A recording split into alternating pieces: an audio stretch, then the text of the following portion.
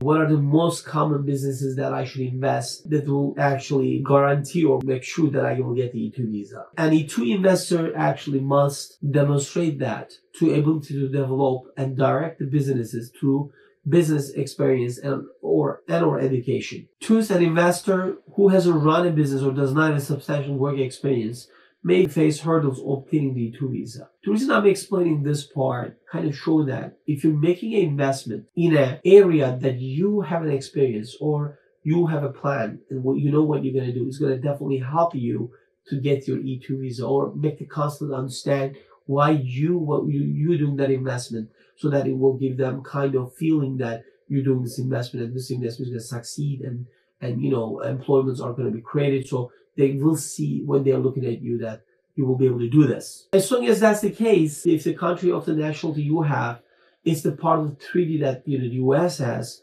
then you know it's all going to be about if you are you know creating a business that's going to succeed and then you are going to be able to show the consulate why you're investing, what is the obstacles or what is the you know competition or what's the market is about and why you're buying this business or why you're investing into that business or why you invest into that industry, that's going to be the key to convince them. Otherwise, you could really invest into different you know uh, services or products or businesses it's usually there's no limit as long as limitation as long as it's a legal business that you're entering you're investing you're not going to have any problem and also if there's a license required or if you have enough licenses that to be able to do that business or permission to do those business, you're not going to have any problem to be able to get the E2 visa.